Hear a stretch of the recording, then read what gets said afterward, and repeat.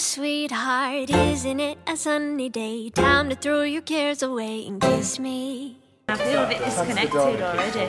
Let's go climbing up into an apple tree, see what all the birdies see and hear them sing. My name is Vivian McManus. I'm a professional fashion illustrator. I've been painting for 10 years, but I think it'll be fine.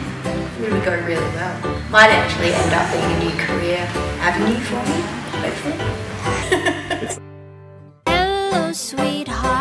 isn't it a lovely night? The moon is shining oh so bright above us. Angels sing whenever you sit next to me. I feel a glow come over me like heaven. I didn't even realise I was playing painting blue. Um, my name's Hayley Welch and I'm an artist here in Perth. I'm going to focus on capturing the energy of the dog. It might have turned out different than I imagined, but that's kind of exciting.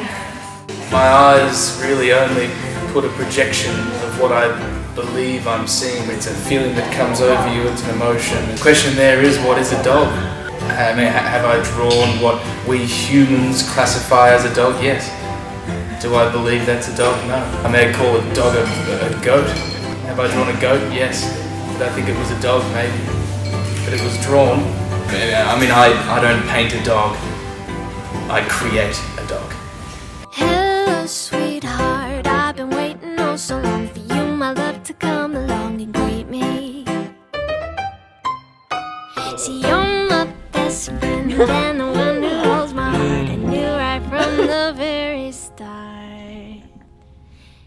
Hello, sweetheart.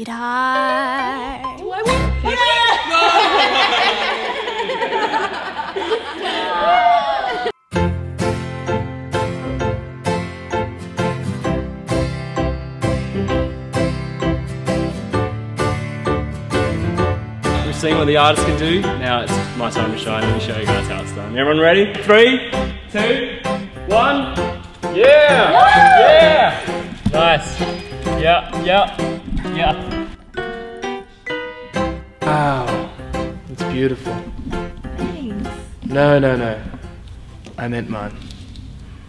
It's perfect. When love